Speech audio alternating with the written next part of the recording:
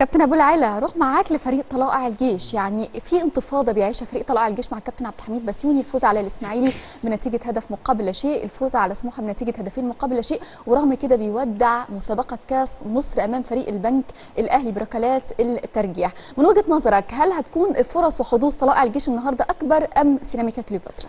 لا بصي مباراة النهارده مباراة ست نقاط. وفي اعتقادي إن كل واحد فيهم امله إن لو خد الثلاث نقاط بالنسبة له كده معناها بقائه في الدوري.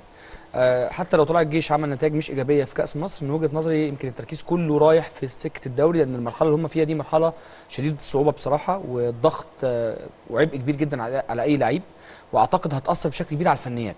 يعني النهارده التخيل إن ممكن تكون ماتش النهارده إحنا سيراميكا مستني ثلاث نقاط وطلع الجيش مستني ثلاث نقاط. يتمنوا لكن كمان عندنا الإسماعيلي مستني نتيجة اللقاء ده. صحيح. عندنا أسوان غزل المحلة مستنيين نتيجة اللقاء ده. المنطقة اللي هم فيها دي الحقيقة ضغط على الجميع. زي ما قلت لك هتأثر على النواحي الفنية بشكل كبير جدا. شكل مباراة النهارده ممكن تروح في سكة اللي هي الفرصة الواحدة.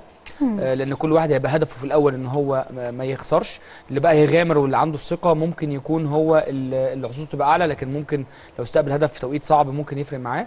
لكن طلع الجيش هيعمل انتفاضة كبيرة. كابتن عبد الحميد بسيوني ست نقاط قلبوا موازين وحسابات مؤخرة الجدول الدوري صحيح كله. صحيح. مش بس طلع الجيش هو الحقيقة دخلهم تاني في السباق واحيا لهم الأمل بشكل كبير ولخبط كل الفرقه اللي معاه. طبعا. يعني لو كانت الأمور مشيت بطريقة ثانية كان ممكن فرق كتيره استريحت لكن هو ضغط على معظم الفرق الثانية